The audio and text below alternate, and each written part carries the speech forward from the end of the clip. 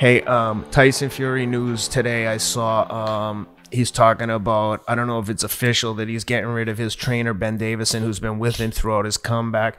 Ben Davison, I think he's only about 26 years old, and Tyson Fury himself had said when he was coming back that he um, needed a friend more than he needed a trainer, which Like is a why- soulmate, a- like Yeah. a life coach. Yep. And I think after the uh, Wallin performance, and you know, credit to Wallin, he put on a good show. Uh, Fury has decided he needs a more experienced trainer, presumably, and he's talking to some much more experienced guys. Um, one of the people that he did work with when he was with Ben is he had some help from um, Freddie Roach, but he's come out and said Freddie Roach won't be the trainer. I'd be curious to see what um, Fury does and if he can make a few adjustments because one or two small adjustments and he's the heavyweight champ and Wilder's out of the picture in that last fight. Just don't get hit with that right hand. That's it. That's it.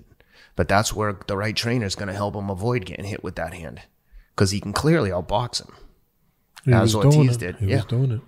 as Ortiz did. So it'll be interesting um, to see. But um, not you sh- got, again, I'll finish up with the importance and how severe that right hand is.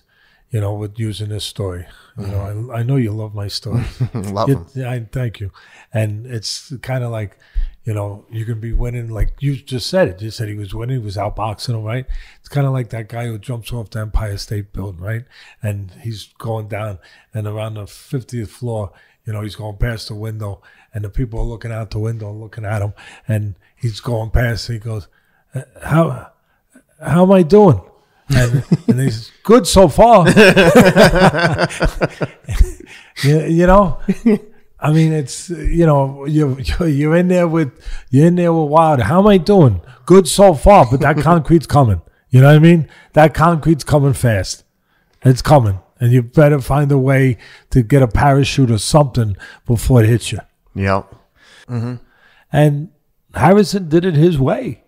You know, box brilliant and won that fight. And I again it'll be probably tougher the second time because in some ways he put as fine or as good a performance as he could have. A little bit, I'm just jumping ahead, but a little bit the way I would look at the Fury, and we'll do more of it, of course, mm-hmm. when it gets closer.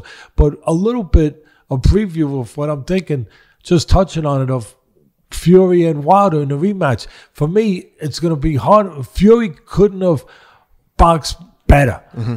Except for those two mistakes. Yeah, exactly. You know, so Teddy, he could box better. Well, okay, I got you. But he, in some ways, he couldn't have done more than he did that night. Yeah. So it's going to be hard for him. Wilder could do more. Wilder, there are so many more things. If if uh, maybe he can't learn no more. Maybe he's gotten to a point where he's not learning it.